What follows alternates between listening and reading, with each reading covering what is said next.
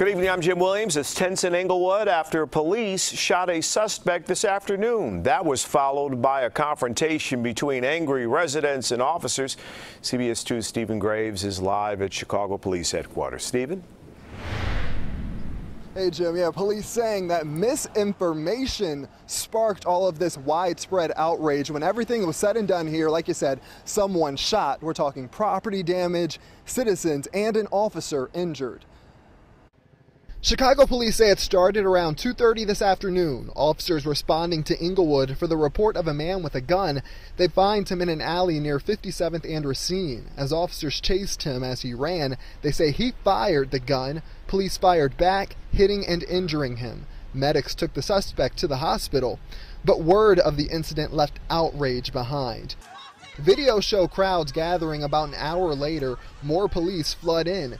Tense moments follow as clashes spark up, police say, over misinformation about multiple things, including the suspect's age. Word spreading on social media it was a boy, something police refute. Late teens, early 20s just misinformation all the way around. As time went on, police say crowds got aggressive. We did have an officer that was maced by someone in the crowd.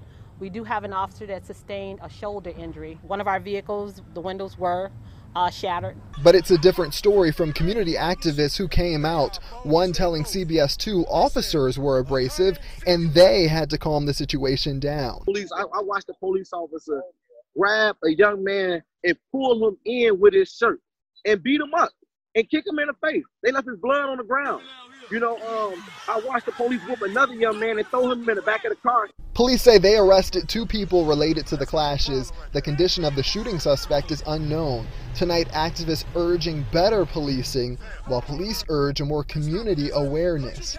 And just to see that is disturbing to me because when will police ever practice community engagement? When will they practice anything that deals with mediating conflict. This right here is a direct response to one agitator being on the scene, getting people all worked up without having the full story.